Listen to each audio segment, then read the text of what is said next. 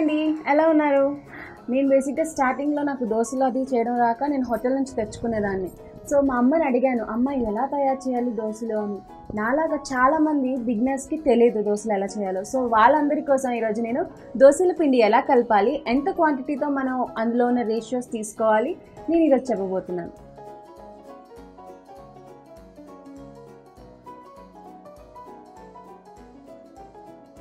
ఈరోజు మనం దోశల ముద్ద ఎలా నానబెట్టుకోవాలో తెలుసుకుందాం. నేను ఈ గ్లాస్ తీసుకుంటున్నాను. మీరు మీ ఇంట్లో మీకు ఏది ఫీజిబుల్గా ఉంటే అలాంటి గ్లాస్ తీసుకొని దీంతో ఒక కప్పు మినపప్పు తీసుకుందాం ఇప్పుడు. ఒక కప్పు మినపప్పు తీసుకున్న నిండుగా గ్లాస్ నిండుగా. ఒక కప్పు మినపప్పుకి అదే గ్లాస్తో మనం ఇప్పుడు మూడు గ్లాసులు బియ్యం వేసుకుందాం.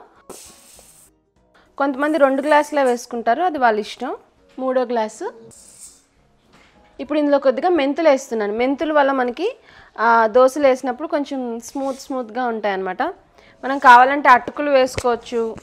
ఓకే సో మనం ఇప్పుడు దీన్ని శుభ్రంగా వాష్ చేసేసుకుందాం. త్రీ టైమ్స్ వాష్ చేసుకొని నేనైతే త్రీ టైమ్స్ వాష్ చేసి మళ్ళీ మంచినీళ్ళతో ఒకసారి వాష్ చేసి మంచినీళ్ళు వేసి చక్కగా నానబెట్టుకుందాం.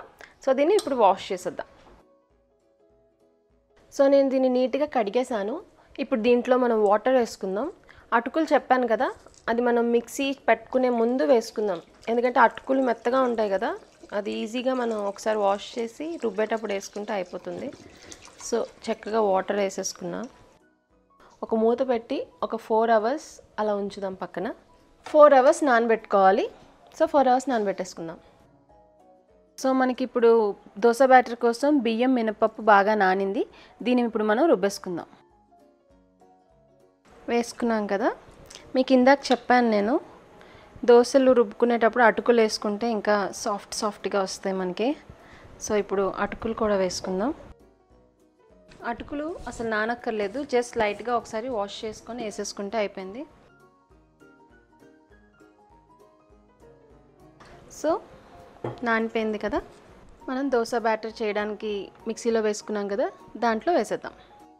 మనకి అటుకులు వేసుకుంటే కొంచెం సాఫ్టీ సాఫ్టీగా హోటల్లో లాగా చక్కగా మెత్త మెత్తగా వస్తాయి. సో మనం ఇప్పుడు ఇది రుబ్బేసుకోవాలి. సో ఇది మనకి పలుకు పలుకుగా ఉంది కదా. దీంట్లో వాటర్ వేసుకుంటే మనకి మెత్తగా పేస్ట్ అయిపోతుంది. సో దోశ కాబట్టి దోశలు మనకి ఎలాగో కొంచెం పలుచగా ఉండాలి. సో అందుకని వాటర్ వేసుకుందాం. సో దీన్ని ఇప్పుడు మళ్ళీ రుబ్బేస్తాం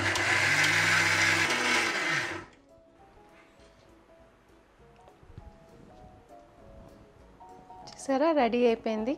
దోశ బ్యాటర్. అక్కడక్కడ నాకు లైట్గా తగులుతుంది బియ్యం.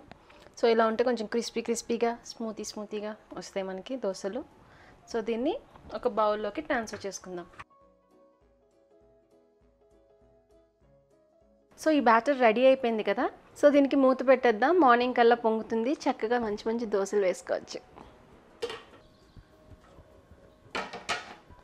ఓకే మనకి దోశ బ్యాటర్ రెడీ అయిపోయింది. మీరు నాకు తెలిసి మీరు చూస్తే ముందు నేను కొంచెమే వేసాను చాలా తక్కువ వేసాను అది ఇంతవరకు ఉబ్బింది. కొంతమంది ఏం చేస్తారంటే వేయడమే ఇంతవరకు వేస్తే అది ఉబ్బేటప్పుడు అప్పుడప్పుడు బయటికి పొంగిపోతుంది. అందుకని నేను తక్కువ వేసుకున్నా కావలిస్తే ఒక రెండు గిన్నెల్లో వేసుకోవచ్చు మనం. సో ఇప్పుడు ఏం చేద్దామంటే దీంట్లో కొద్దిగా సాల్ట్ వేసుకుందాం. అంటే సాల్ట్ మీరు తినే దాన్ని బట్టి మీకు నచ్చిన దాన్ని బట్టి వేసుకోండి. సాల్ట్ వేసుకొని వాటర్ వేసుకుందాం. కొద్దిగా. ఇది మీకు పేస్ట్ మరీ థిక్గా అనిపిస్తుంది అంటే అప్పుడు మీరు మళ్ళీ వాటర్ వేసుకోవచ్చు. పలుచగా చేసుకుంటే సన్నగా వస్తాయి దోశలు. దోశ బ్యాటర్ మనకి ఇలా జారుగా ఉండాలి. సో మనకి రెడీ అయిపోయింది దోశ బ్యాటర్ ఇది మనం ఫ్రిడ్జ్లో పెట్టి స్టోర్ చేసుకోవచ్చు దోశలు వేసుకున్నాక. సో ఇది కూడా మనకి ఫోర్ టు ఫైవ్ డేస్ ఉంటుంది ఫ్రిడ్జ్లో పెట్టుకుంటే. మోస్ట్లీ దోశ. ఇంత బ్యాటర్ అయితే నాకు తెలిసి త్రీ డేస్లో అయిపోతుంది. అంటే దోశలు మనం టక టక తినేస్తాం కాబట్టి. సో మనం దోశలు వేసేసుకుందాం. సో దోశకి స్టవ్ ఆన్ చేసుకుందాం. హైలో ఉంది. పెనం పెట్టేసుకున్నా. సో ఇప్పుడు మనకి ఈ పెనం వేడి అవ్వాలి బాగా కాలితేనే మనకి దోశలు బాగా వస్తాయి.